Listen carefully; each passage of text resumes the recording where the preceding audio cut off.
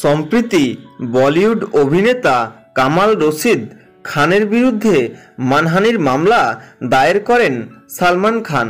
তার বিরুদ্ধে একাধিক মন্তব্য করার বিরুদ্ধে মামলা করতে বাধ্য হন তিনি। কয়েকদিন চুপ থাকার পর সেলিম খানের কাছে সেই মামলা তুলে নেওয়ার অনুরোধ করেন কমল আর খান।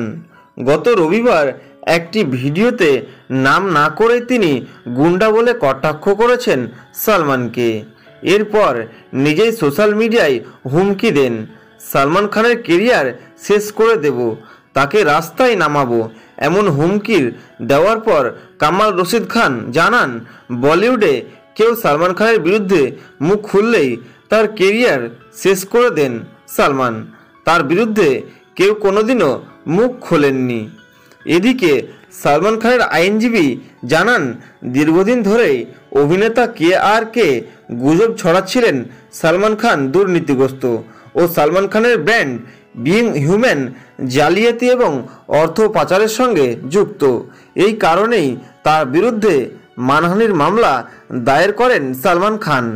অন্যদিকে কামাল রশিদ খানের আইনজীবী জানান, অভিনেতা এই ধরনের মন্তব্য করেননি। কিন্তু তার আচরণের বিরুদ্ধে মুখ খুলেছেন কে আর কে।